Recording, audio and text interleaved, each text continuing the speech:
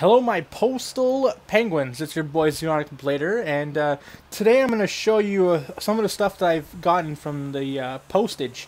But uh, yeah, uh, this is a TV stand, a different area that I'm usually used to. But I'm about to retire this, and I'm just covered in boxes right now because I've moved everything off of this to boxes. But uh, yeah, I guess the, the last thing I use of this will be for a video. So before we get to uh, a giant box over here, I think I'd show you the Bakugan first. So, uh,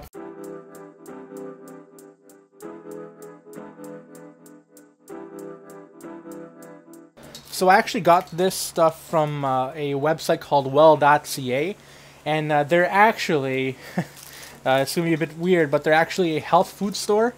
But for some reason they had Bakugan. I don't know, distribution is kind of whack.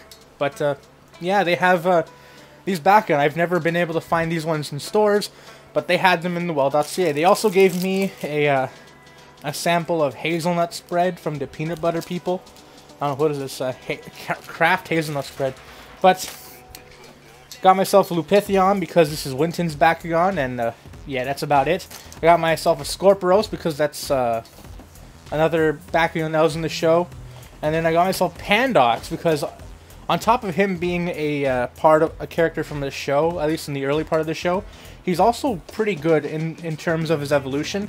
When he evolves, he has an effect where when it opens, treat all of the cores that you have on your side as if as if it belonged to him. So pretty much you get a giant boost in cores. But yeah, uh, this is the one that I'm most excited for.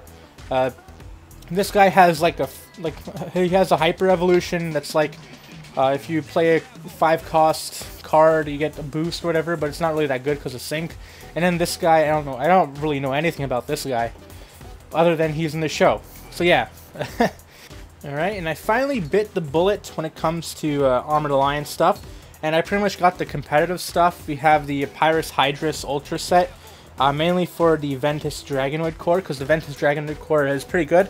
Um, it rival, it's better than the Ventus Dragonoid core from the from the Bakugan Battle Planet series, and that was a pretty solid Bakugan. But this guy, his evolution, I think if you have like three cores, then you can play it for free. So that's pretty spicy. And then we got our Haos Trox Ultra. That's this guy's like Power Creep Boys pretty much. The Power Creep Boys 2.0.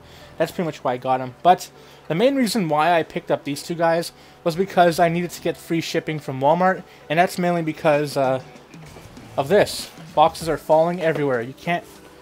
Ah. Okay, I saved the box. But uh, this, the Diamond Pegatrix Ultra Starter Set, or Starter Pack, what is it? I don't know. But it comes with the Darkus Holocore, which this is actually my first uh, Darkus Holocore. I never got the Battle Planet one.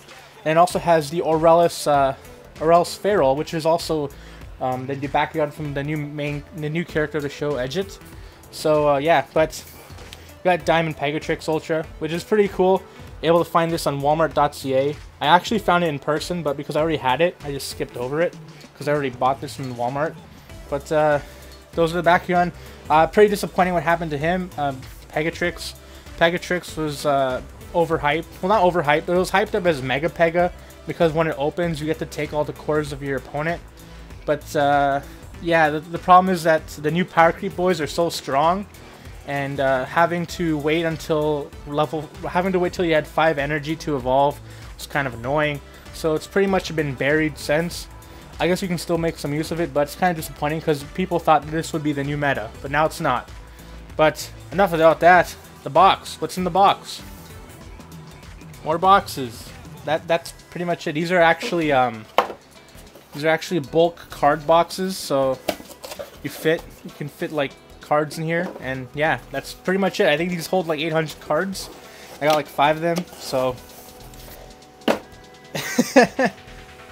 uh, that's the end of the video, folks. Sorry. I mean, I really didn't have much time to scrap up the video together. Uh, I, am too busy cleaning up my room. But I thought you guys would like to see this, so uh, please don't unsubscribe.